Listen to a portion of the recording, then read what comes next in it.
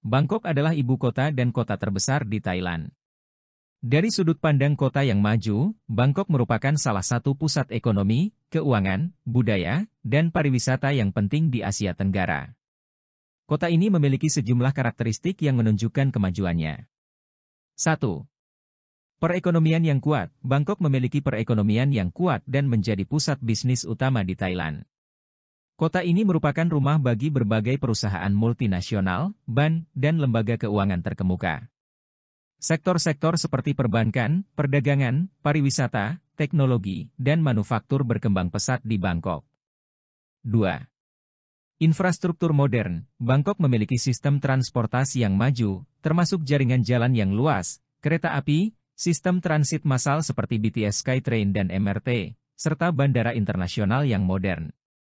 Infrastruktur yang baik ini mempermudah mobilitas penduduk dan memfasilitasi perdagangan serta pariwisata di kota ini. 3.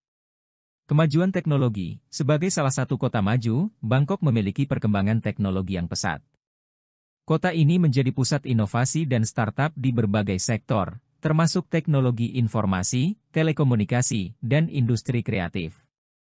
Adanya perkembangan teknologi ini mendorong pertumbuhan ekonomi dan meningkatkan kualitas hidup penduduk.